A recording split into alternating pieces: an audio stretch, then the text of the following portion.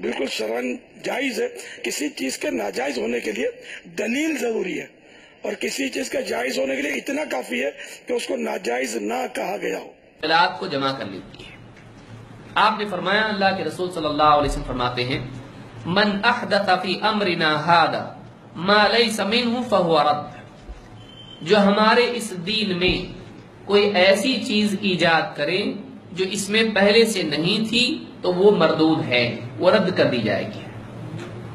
Number ایک، اس سے معلوم ہی ہوا کہ بدعات کا معاملہ دین سے جڑا ہوا ہے، جو ہمارے اس دین میں کوئی نئی چیز نکالے۔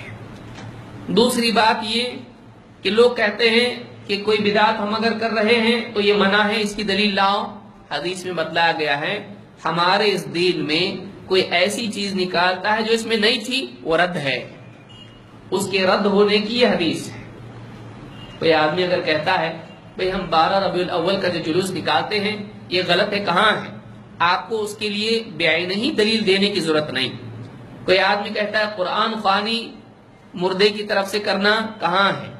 کوئی آدمی کہتا ہے کہ کسی مرنے کے بعد کسی کو کلمہ پڑھانا قبر پر کہاں منع ہے؟ کنڈے کرنا، اس طرح کی اور کئی چیزیں، فاتحہ دینا کہاں منع ہے؟ آپ کو ہر ہر بدعات کے رد کے لیے الگ سے دلیل لانے کی ضرورت نہیں ہے۔ اس ایک حدیث میں ہر بدعات کا رد موجود ہے۔ کیوں؟ آپ نے فرمایا جو ہمارے اس دین میں، معلوم ہے کہ ہمارا دین ہے۔ کوئی ایسی چیز ایجاد کرے جو اس میں نہیں تھی، تو کیا ہو جائے گی؟ رد ہو جائے گی۔ معلوم یہ ہوا کہ اس کو ثابت کرنا پڑے گا یہ دین میں ہے۔ آپ کو یہ ثابت کرنے کی ضرورت نہیں کہ یہ دین میں نہیں ہے۔ رد کیا ہوگا؟ جو دین میں نہیں ہے وہ رد ہوگا۔ تو جو آدمی دین میں ہے بتائے، وہ عمل رد نہیں ہوگا۔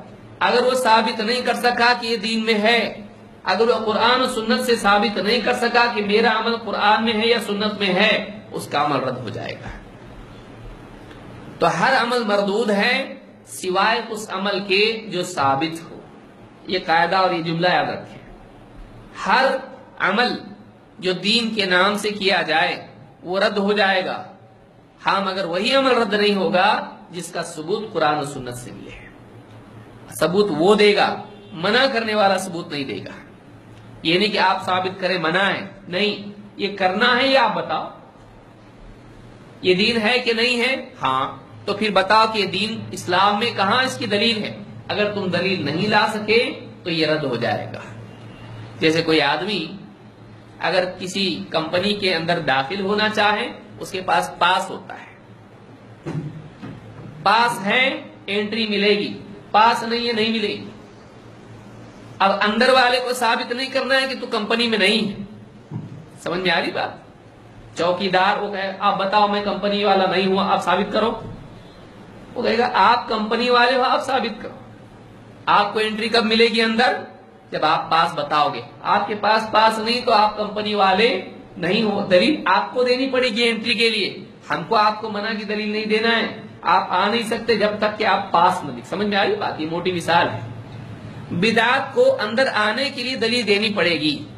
بدعاتی کو دلیل دینی پڑے گی۔ منع کرنے والے کو دلیل دینے کی ضرورت نہیں ہے۔ تو یہ بہت بنیادی قاعدہ ہے۔ اس سے ساری بدعتیں رد ہو جاتی ہیں۔ من احدث فی امرنا هذا ما ليس منه فهو رد. جو ہمارے اس دین میں کوئی نئی چیز نکالے جو اس میں نہیں تھی وہ رد ہو جائے گی۔ بعد لوگ کہتے